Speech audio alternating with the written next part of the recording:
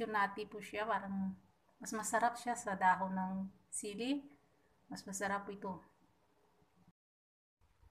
Hello everyone, welcome back. Ito, manguha tayo ng gulay natin. Magluto ako ng isda. Uh, may sabaw. Ito, siguro marami sa atin hindi alam na pwede itong gulay. Parrot leaf or kutsa-kutsarita. Yan ang tawag sa plant na to. Yung dami kong tanim dito. Tingnan nyo. Yan.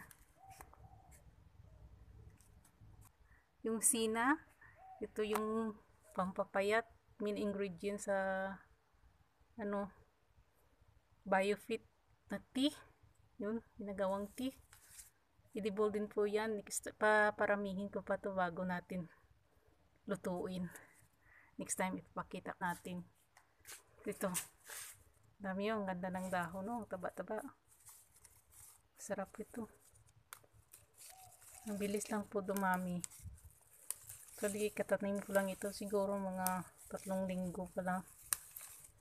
At saka yung ano ko pala dito, yung fertilizer ko is yung balat ng saging at saka eggshell.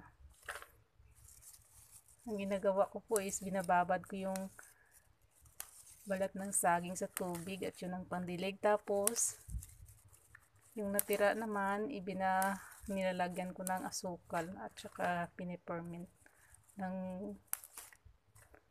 14 days. Ayan. Marami ito. Yan o sa kapitbahay. Ang daming badyang. Ang laki. So, pero walang nakatira yan. Kaya nandito yung ano, yung mga tanim ko sa pader.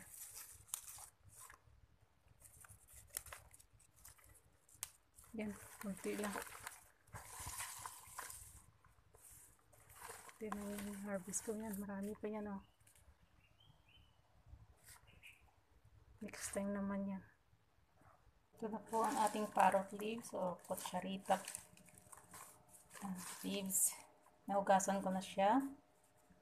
At saka ito yung stems niya, pinapat ko sa tubig kasi itatanim ko pa rin ito.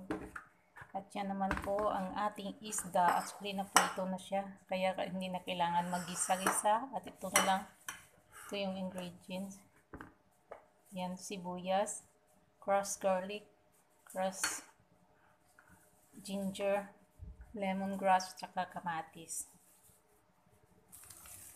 Dito sa, ano may tubig ako dito, uh, 700 ml. Lagay na natin lahat ng ating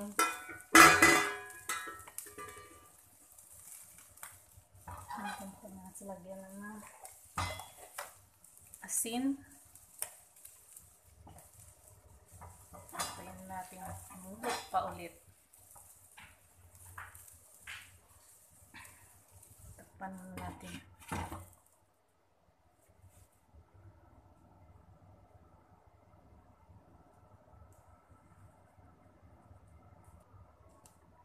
Yan na.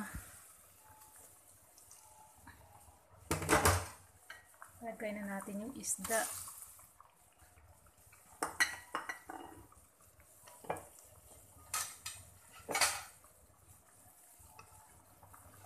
Mabilis lang to. Pwede na rin natin lagyan ng iba pang pampalasa. Pero maglalagay ako ng ang ilalagay ko is premium soy sauce. I like the taste of this. Pwede naman yung patis. Kahit anong pampalasa pwede. Depende sa gusto niyo.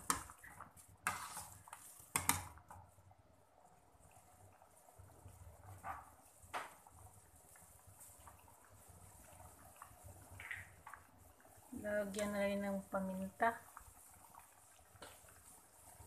Is a white pepper. Magkaiba po ang lasa nila sa black pepper. Naman natin.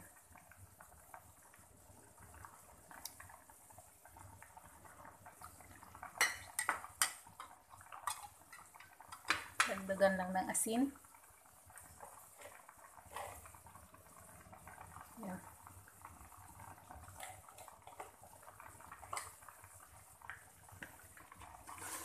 Lagay na natin yung ating parrot leaves.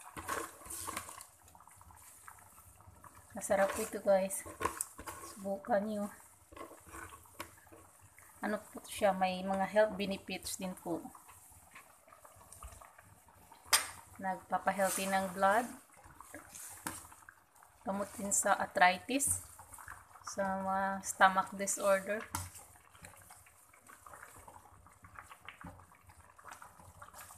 Takpan lang natin sa ulit.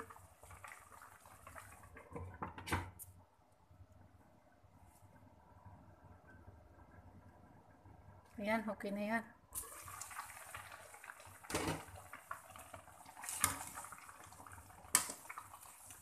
Mm, Dito, eat na to.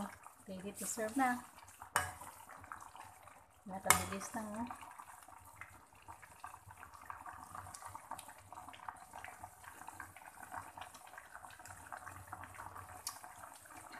Sarap.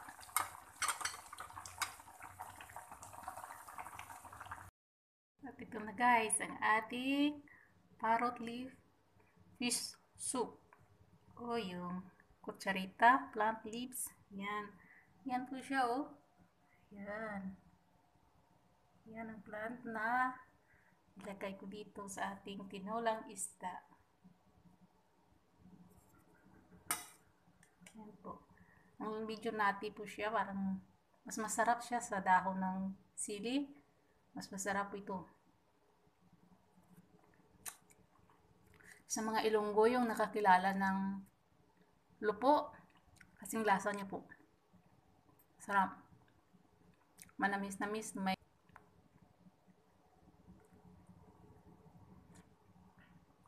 Mm. So, ang aking lunch.